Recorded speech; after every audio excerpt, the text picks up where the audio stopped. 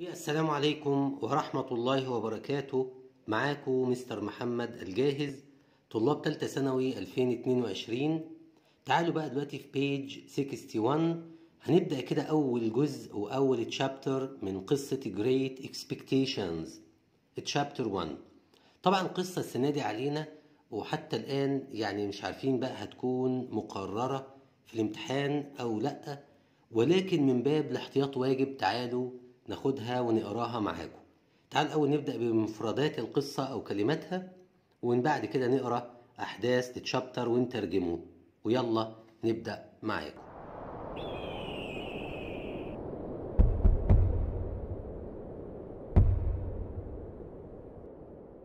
القصة اسمها Great Expectations لآمال عظيمة أو توقعات عظيمة. عندك أول كلمة اسمها مارش مارش graveyard graveyard nearby nearby terrible terrible leg irons leg irons. Get my breath أو breath break. Get my breath break. Get my breath break. Grab run into run into promise promise.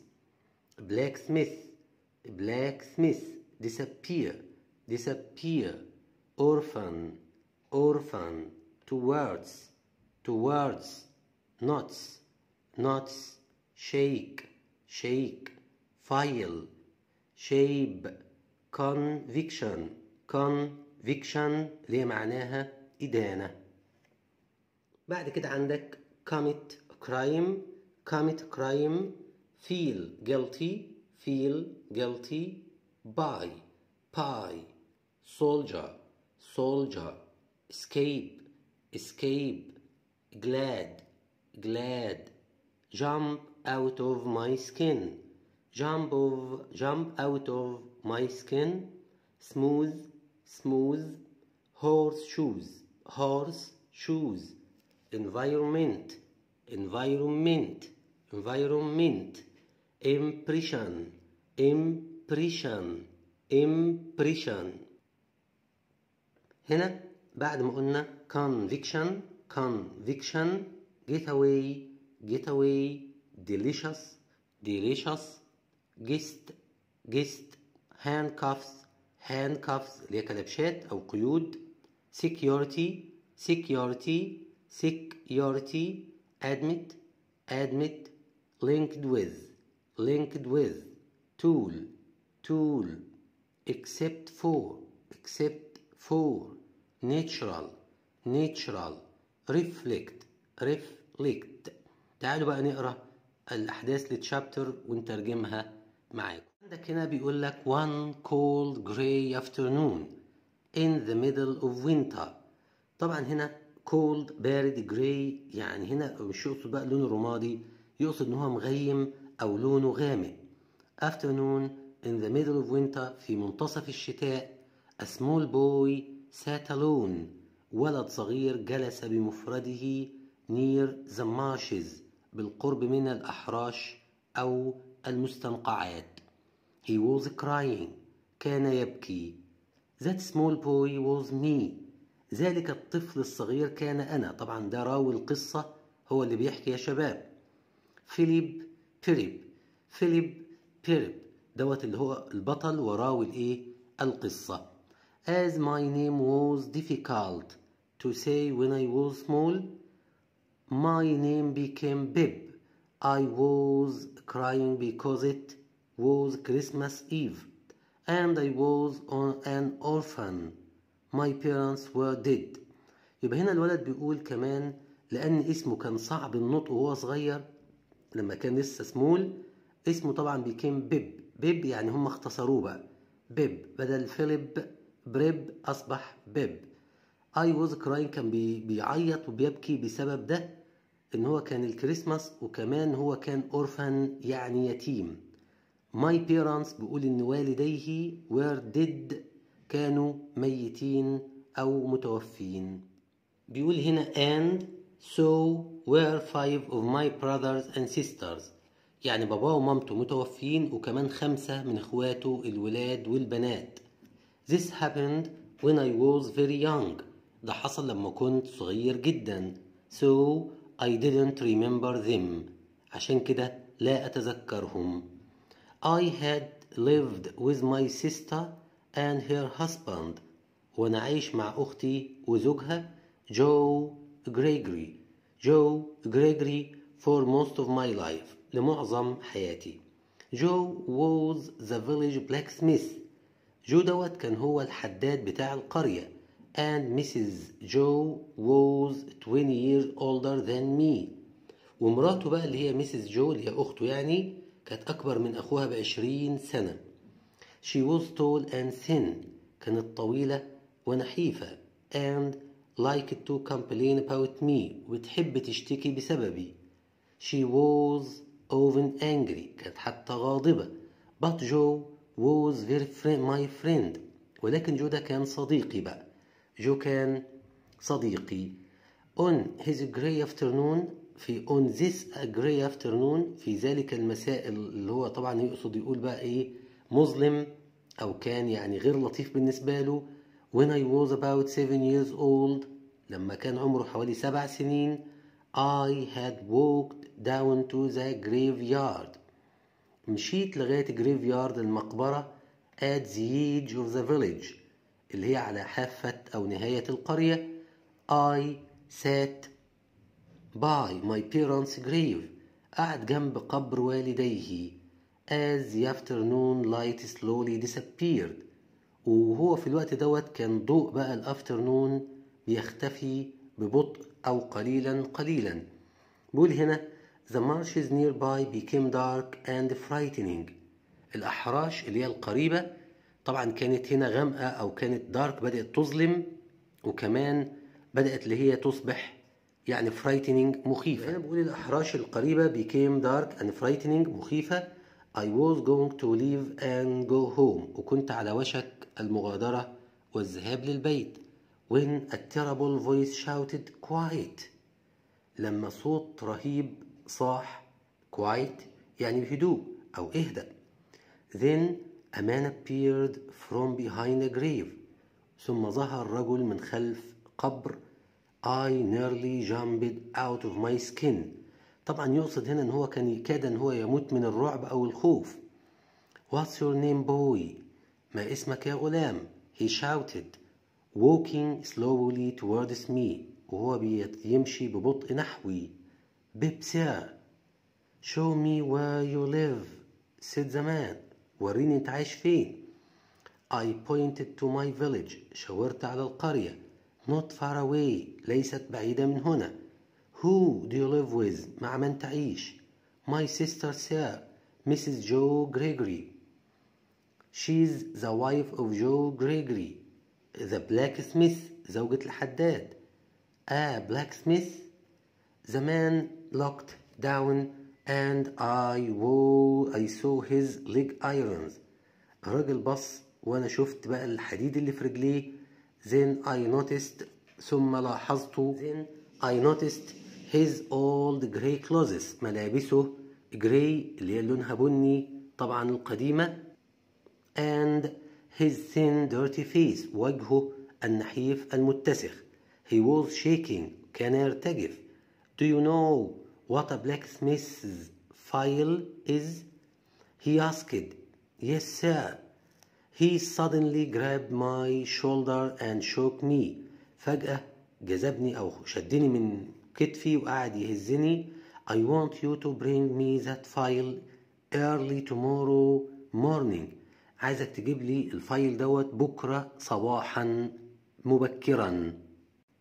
وطبعا خلي بالكو هو يقصد هنا بال file دوت مش file اللي هو ملف لا يقصد بيه المبرد. المبرد طبعا عشان عايز يفك الحديد اللي إيه الموجود في رجليه. تمام؟ طيب بعد كده قال له عايزك تجيبه لي early tomorrow morning and some food too وبعض الطعام أيضا. Then I will let you live. وبعد كده هسيبك تعيش. What do you say انت هتقول إيه بقى أو رأيك إيه في الموضوع ده I was frightened so I promised to bring the file اللي هو المبرد زي ما قلنا and the food to him the next day now Go home, he shouted. I ran until I could run no more. قعدت أجري لغاية لما ما بقتش قادر أجري أكتر من كده. When I looked back عندما نظرت للخلف I saw the man far out of my out on the marshes. لقيت راجل بعيد هناك على الأدغال أو في الأحراش دي a black shape against the angry red sky. Once I got my breath back. I hurried يعني هنا التقطت أنفاسي I hurried home as fast as I could وأسرعت إلى المنزل بأقصى سرعة قدرت إن أنا أجري بيها. When I ran into the kitchen عندما جريت داخل المطبخ feeling happy to be home safely أشعر بالسعادة طبعا لكوني في المنزل بأمان Mrs. Joe angrily asked me where I had been Mrs. Joe اللي هي أخته طبعا سألته بغضب أين كان Only to the graveyard I cried فقط كنت في المقبرة Graveyard She shouted You are luck not to have been put in the graveyard long ago انت محظوظ انك ما تحطيتش في المقبرة دي منذ زمن بعيد It's because of me ده بسببي أنا that you are still here إن أنت ما زلت here يعني هنا but I didn't want to look after you بس أنا مش عايز أعتني بيك بقى It's bad enough being a blacksmith's wife يكفيني سوء حظي إن أنا زوجة الحداد. I never asked to be your mother. عمر ما طلبت إن أنا أكون مامتك. That evening في ذلك المساء I had work to do in the kitchen as usual. كان عندي شغل لازم أعمله في المطبخ كالمعتاد. It was almost bedtime. وكان ده تقريبا وقت النوم أو وقت الذهاب إلى الفراش. And I was helping to prepare lunch.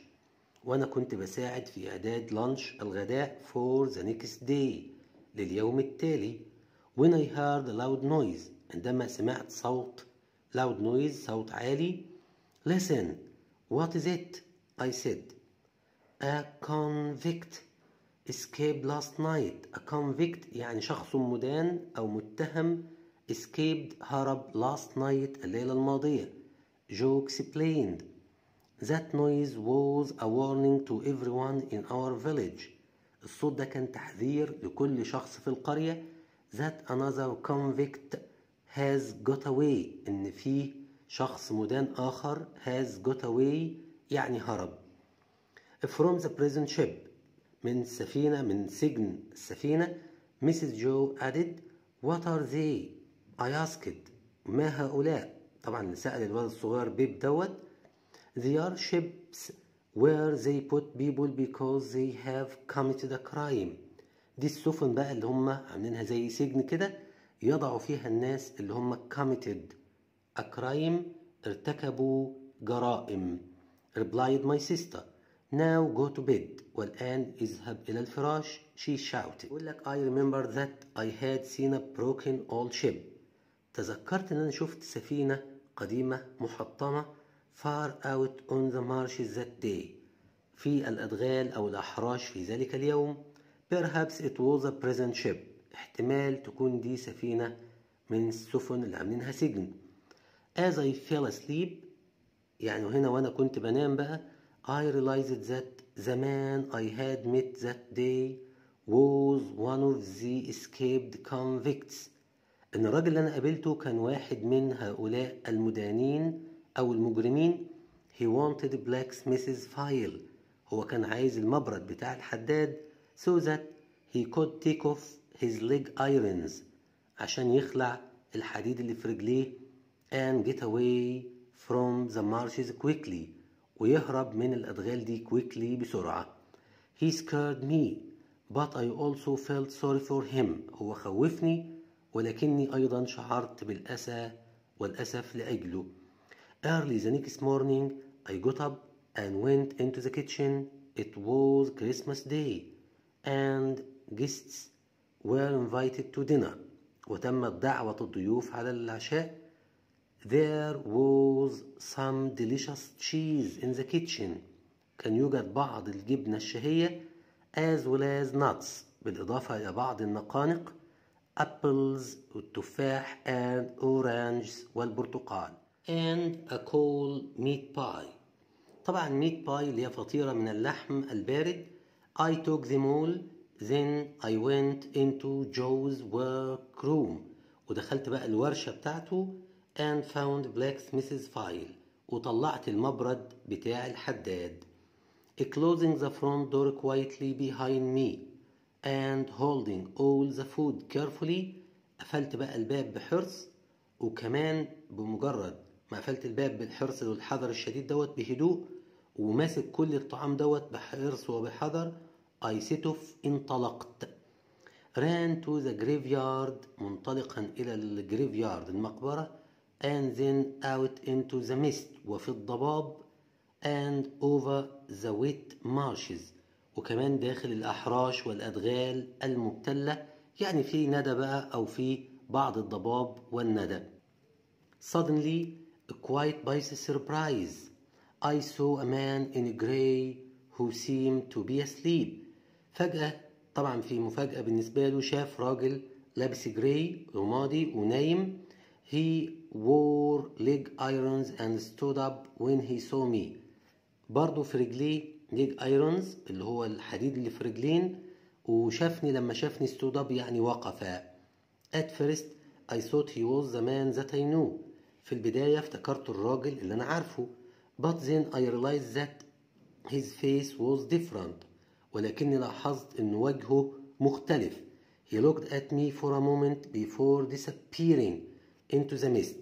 بصلي اللحظة قبل ما يختفي في الضباب. I wondered who he could be من قد يكون and what he was doing out here وما الذي كان يفعله out here يعني ها هنا afterwards وبعد ذلك I found the man I was looking for وجدت الرجل الذي كنت أبحث عنه I gave him أعطيته the food at once الطعام and he ate it quickly وأكله as I told him about the other man وأنا عمال أخبره عن الرجل الآخر that I had just seen الذي رأيته he wanted to know who he was and where he had gone كان عايز يعرف هو مين وكان رايح فين. But I couldn't tell him ولكني لم أستطع إخباره. Then as soon as he had eaten وبمجرد ما أكل he took the file from me أخذ المبرد and he started trying to remove his legs irons. وبدأ يحاول نزع بقى الأصفاد أو الإيه الحديد والكلبشات اللي في رجله. ودعواتي ليكم بالتوفيق with an angry look on his face بنظرة غاضبة على وجهه. I was afraid again? So I ran home as fast as I could. As I ran I ran back across the marshes. I could hear the sound of the file on the legs irons through the mist. طبعا الولد طلع يجري تاني على المنزل وهو بيجري كان سامع صوت الفايل اللي هو المبرد دوت وهو بيعمل إيه؟ الراجل بيفك بيه الحديد في المست الضباب أو الإيه؟ الشبورة اللي إحنا بنقول عليها بس عندهم طبعا كثيفة شوية Mrs. Joe was busy appearing the house for guests. اللي هي أخته بقى كانت بتعد المنزل للضيوف. So Joe and I were along together. كان هما مع بعض بقى الولد وهو وجو اللي هو سميث أو بلاك سميث اللي هو الحداد. I began to feel guilty about the food and the file which I had stolen. بدأت أشعر بالذنب على الطعام والمبرد اللي أنا سرقتهم. That morning and I wanted to tell Joe what I had done. وأردت إخبار جو بما فعلته. But then ولكن عندئذ I thought he might not want to be my friend. اعتقدت إن هو ممكن لا يصبح صديقي if I, if I did لو أنا أخبرته. So I said nothing. ولذلك لم أقل شيئا ولم اخبره اي شيء It was not long before he the guests arrived and we sat down to Christmas dinner يعني بعد وقت بسيط أتى الضيوف وقعدوا على العشاء At first nobody noticed that anything was missing في البداية محدش لاحظ إن أي حاجة مفقودة but then ولكن بعد ذلك to my horror لرعب الشديد بقى Mrs. Joe invited everyone to try delicious meat pie عزمت الناس كلها عشان يدوقوا ال delicious meat pie فطيرة اللحم الشهية واللذيذة that Joe's uncle Mr. Pumblechook had given us طبعا هي عزمت الناس على فطيرة اللحم اللي كان عم بقى جو دوت اللي هو اسمه Mr. بامبل تشوك عزمهم عليها أو أعطاهم إياها The guests happily agreed and she went to find it وذهبت لإحضارها جو told me I could have some وجو قال لي إن أنت تقدر تاخد منها كمان حتة أو بعضها and I felt very bad شعرت بالسوء الشديد at any moment Mrs. Joe was going to discover that the meat pie had disappeared from the kitchen في, في أي لحظة بقى هتكتشف إن الفطيرة اختفت من الإيه المطبخ unable to say that to say at the table with all the guests unable to stay at the table يعني طبعا وأنا مش قادر اقعد بقى لاني مش قادر اجلس على الترابيزه مع كل الضيوف any longer للمزيد من الوقت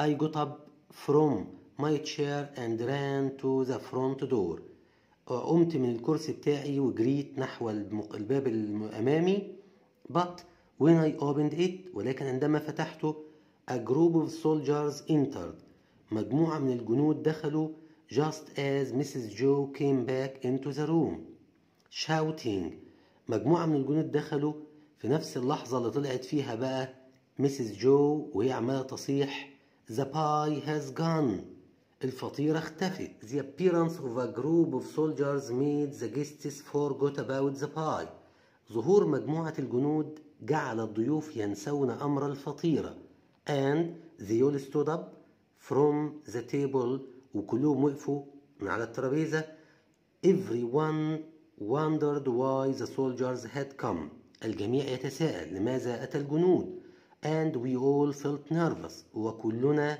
شعرنا بالتوتر والعصبية we need blacksmith to mend some handcuffs نريد الحداد لإصلاح بعض الكلبشات أو الأصفاد اللي هي القيود الحديدية. Please من فضلكم. The first soldier said قال أول جندي we are looking for two convicts. نبحث عن اثنين من المدانين who broke their handcuffs and escaped. اللي هم حطموا الهاندكافز الكلبشات بتاعتهم وهربوا. We think they are hiding out on the marshes. نعتقد أنهم يختبئون في الأحراش أو الأدغال. Although they probably won't try to get away until tonight. بالرغم من ذلك أن هم من المحتمل أنهم لن يحاولوا الذهاب بعيدا قبل الليلة. When I asked when he asked if we had seen them everybody else said no. الجميع قالوا لا. I did not speak وأنا لم أتحدث.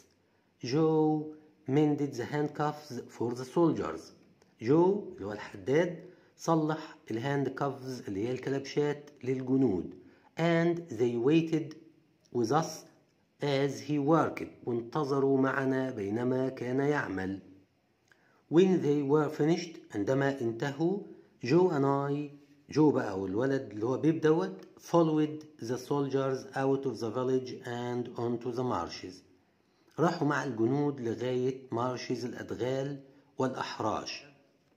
قال لك هنا I hope we don't find the convicts جو I said quietly. طبعا هو بيقول لجو أتمنى ما نلاقيهمش. Me too بيب جو replied. قال له أنا كمان. Day became night. أصبح الأمر اليوم مساء. As we walked over the marshes بينما يسيرون داخل الأحراش والأدغال it was raining. كانت الدنيا تمطر. And the wind blew وهبت الرياح. The rain into our faces. يعني الرياح بقى خلت المطر يجي في وشهم. Suddenly we heard angry shouts nearby. وفجأة سمعنا صيحات غاضبة بالقرب منا. I was afraid of what was about to happen. وكنت خائف أفرد مما على وشك الحدوث. باللقطة دي سنة تالتة ثانوي انتهينا من تشابتر 1 من قصة Great Expectations آمال عظيمة أو توقعات عظيمة للكاتب تشارلز ديكنز.